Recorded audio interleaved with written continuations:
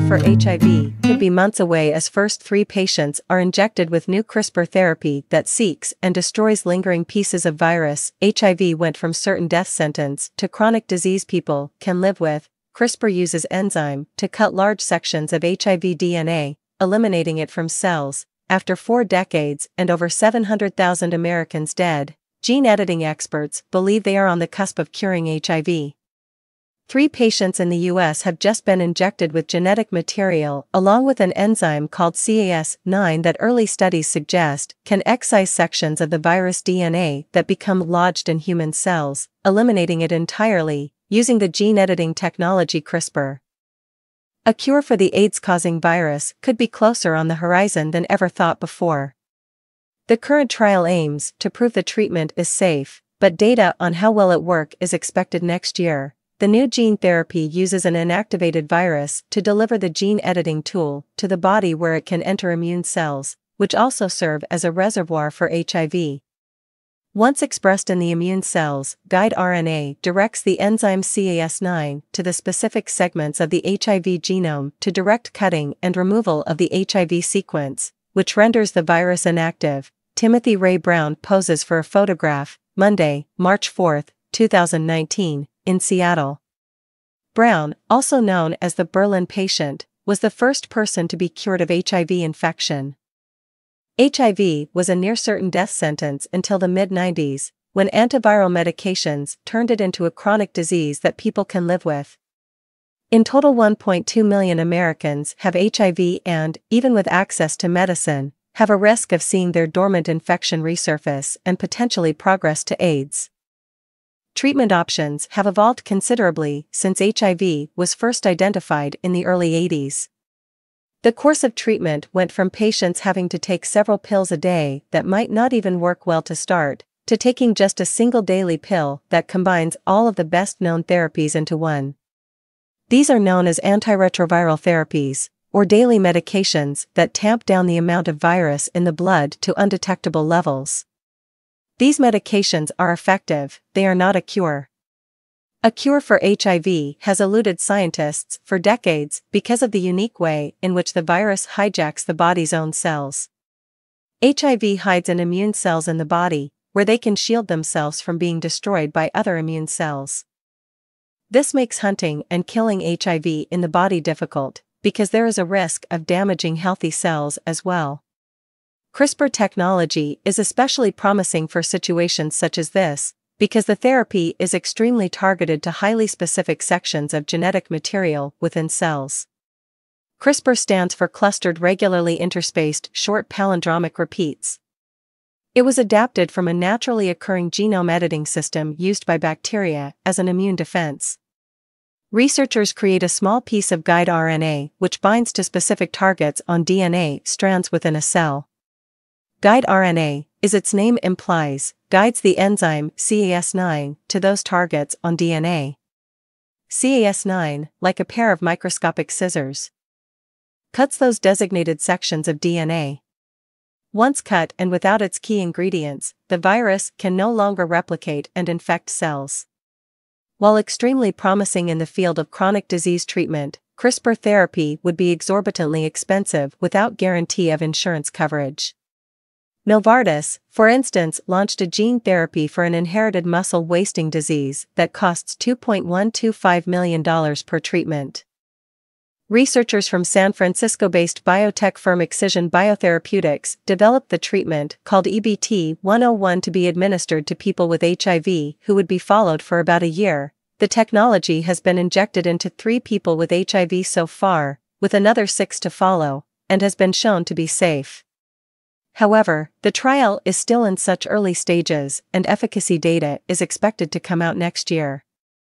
The first three people had been taking an antiretroviral medication to reduce HIV in the blood to undetectable levels. If they met certain criteria after 12 weeks, they were asked to stop taking ART so that the treatment could be evaluated clinically. Excision's injectable gene therapy contained guide RNA that directed CAS9 to the three specific segments of the HIV DNA to be cut.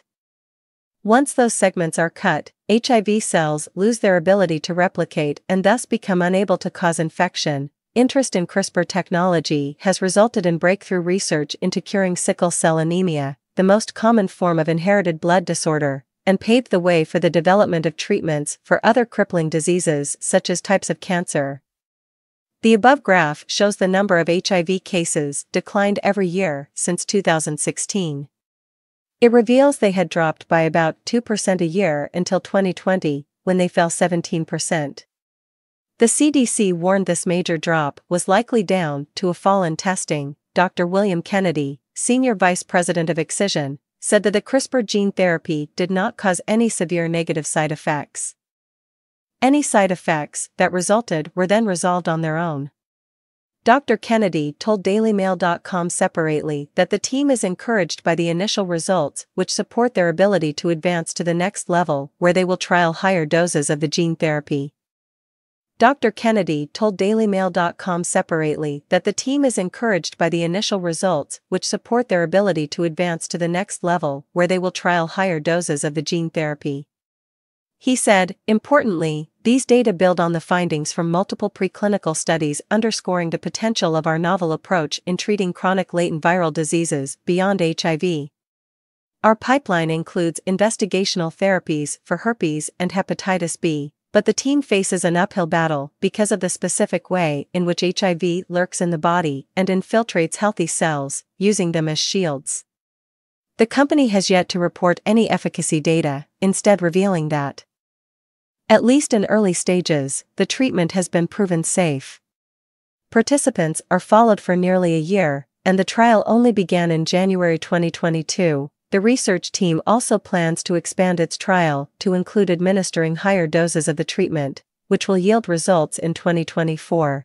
This is also one of the relatively few applications of CRISPR technology to infectious diseases. More often than not, gene editing has been studied to remedy chronic illnesses such as cancer and inherited disorders like sickle cell, and most have entailed removing genetic material to manipulate before reinserting it, making their research unique a handful of people with HIV have been effectively cured. One such person is a 53 year old man, known by scientists as the Dusseldorf patient, who has been off antiretroviral drugs, tablets usually required daily to keep the virus at bay, for four years without relapse thanks to a risky stem cell transplant. The patient underwent allogeneic hematopoietic stem cell transplantation, HSCT, in February 2013, overseen by an international research team, headed by medics at Dusseldorf University Hospital. Before that, American Timothy Ray Brown, dubbed the Berlin patient because of where he was treated, was declared HIV free in 2007 after two bone marrow transplants. Mr. Brown, who died in 2020 from terminal leukemia, was from Seattle but lived in Germany, was diagnosed with HIV in 1995. In 2006, after more than a decade on standard antiretroviral therapy to suppress his disease, he was diagnosed with acute myeloid leukemia, a cancer of the blood cells, his doctor at the Charite Hospital in Berlin said his best bet at survival was a bone marrow transplant, which replaces a sick person's immune system with stem cells from the bone marrow of a healthy person. Brown survived his first transplant and stopped taking his HIV medication that day. He had another transplant in early 2008. On February 2008, he was declared HIV free at the CROI conference in Boston. He died at 54 mere days after announcing that he had been battling an aggressive blood cancer for months. And in the UK, the London patient, now known to be Adam Castillejo, became the second person ever to be cured of HIV. The patient was diagnosed with HIV in 2003. He started taking antiretroviral therapy, or ART, which are virus suppressing drugs, to control the infection in 2012. Ever since 1996, when ART was discovered, it has been recommended as immediate treatment post diagnosis.